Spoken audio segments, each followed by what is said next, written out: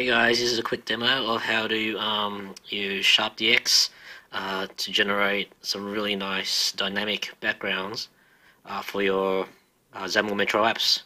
So let me just run this. Okay, so it's all it does is there's okay, so that looks great. Um, that there is uh, there's a radial gradient applied to this white background. All of that's rendered on a Direct 2D surface.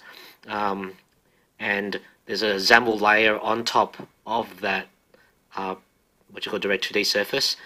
And that uh, XAML contains these four tiles for these four rectangles. And they're found in a inertial canvas which is what I created last um, last blog post.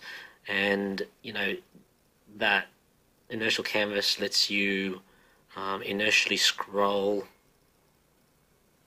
things in them so these four, these four rectangles are they're, they're um, tilt tiles that I've also created. They're similar to the ones that are found in the Windows Phone. And when you click them, it's going to go. What's going to happen is it's going to go off and it's going to re-render the Direct 2D surface, which is currently white with this um, radial gradient of um, transparent to black. Um, it's going to render a bunch of geometries in there and it's going to change the color um, and keep the radial gradient. So like this one here is just going to dynamically create a bunch of orange ones with um, which with rectangle um, ge geometries, which are uh, actually squares. And this is this is a green one. Red, it's blue. So yeah, so you can um, now that you know we SharpDX gives us access to the entire Direct 2D, Direct 3D um, libraries, we can do some pretty nice things um, in our XAML, Metro app that makes it less boring.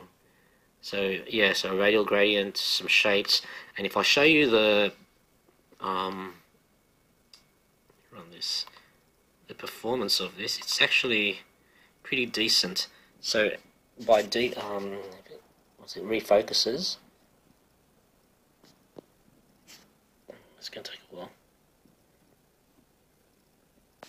You'll have to take my word for it. It sits at zero on average. On by default, it's less than one percent CPU because what's happening is that when as soon as we finish rendering the Direct 2D surface, we stop the rendering um the loop, the direct DTD DirectX loop, um, and it no longer needs to cycle through, and that's why it brings the, the CPU back down to near zero percent.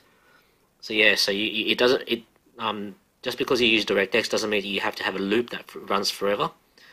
Um, you just run it when it's needed and then turn it off after it's finished. And in my case, it's finished once it's rendered the the background, and then it stops. And it's pretty nice. So yeah, please consider creating some really nice backgrounds for your Metro app, even if you're in XAML, um, in a XAML uh, managed app. Use uh, SharpDX to build your really cool backgrounds.